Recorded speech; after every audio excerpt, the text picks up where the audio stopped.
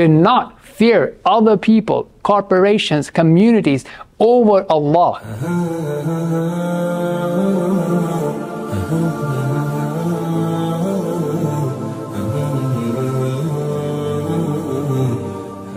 ولكل وجهة هو موليها. فاستبقوا الخيرات. أينما تكونوا يأت بكم الله جميعا. إن الله على كل شيء قدير Investing in your eternity.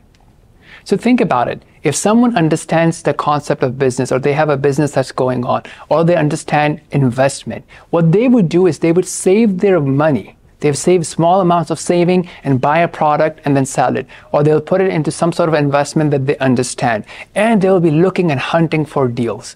Now, if you understand the concept of eternity, in, in eternity, you can't use your euros, you can't use your dollars, you can't use other currencies, you can't use Bitcoin, you can't use Ethereum, but it will be the state of your heart, the heart that you take to Allah subhanahu wa ta'ala, the actions you do. So Allah is inviting us and reminding us that we should be racing to compete and use our resources, our time, our energy, our focus, our wealth to do good things in the society. So use your time wisely at an individual level, making sure you're praying five times a day. Now, if you have an opportunity and you know that, look, I can be praying at home or I can be praying in the mosque, in the masjid with jama'ah, and I can increase my returns by 27 times, why would you not do that? Maybe it's hard. If it's hard, try to make it easy for yourself surround yourself with opportunities where you are close to the masjid. So this way you can maximize your gains and you can maximize your results. And same thing, other acts of worship, you know, sharing the message of Islam, making dua, doing charity, volunteering, and so on and so forth.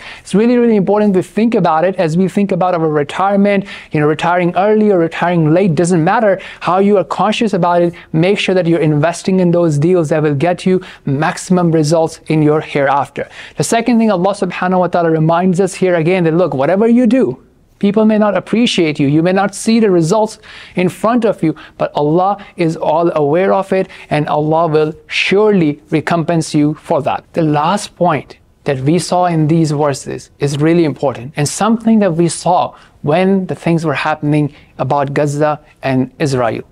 So look what happened.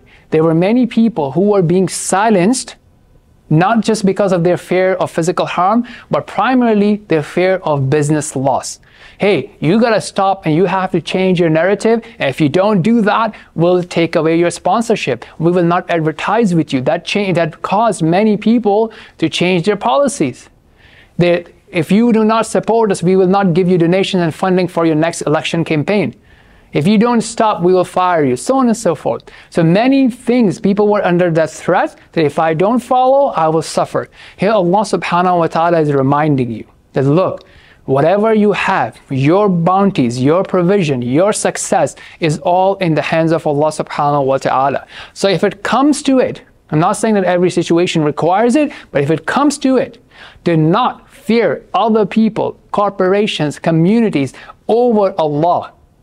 Remember, فَلَا تَخْشَوْهُمْ وَخْشَوْنِي Do not fear them, but fear Allah. And remember that He is the one who can give and He is the one who can take. So whenever you're making decisions of what to say, how to say, what to do, taking time off for prayer, what, what will my boss say? What will my professor say?